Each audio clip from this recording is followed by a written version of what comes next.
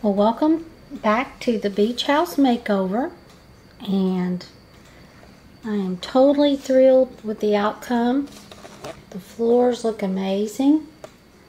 Get a close, close look of them.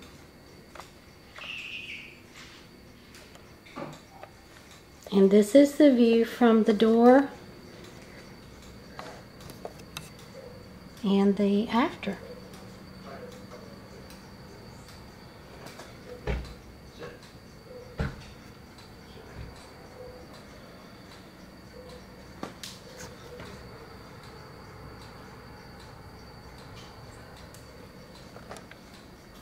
And I'll a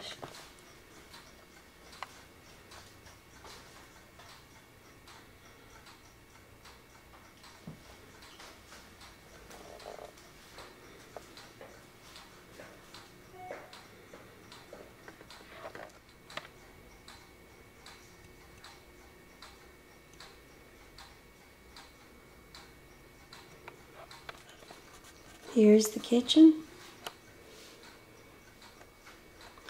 Now this was done over really old linoleum. So the texture looks a little different in this one. But at least my husband didn't have to take up the linoleum. It had been down for years. Well, looks like it's good enough. I'm going to show the before and the after. And I hope this is a blessing to you. And uh, if you can't afford floors, why don't you try painting them? And um, and then of course we put a sealer, two coats of sealer on it. And uh, it was just a real light clear. It did not have any smell. That was my fear, uh, that it would have a smell, but it did not. So uh, thank you for watching the video and give me some feedback. I'd love to hear from you. God bless.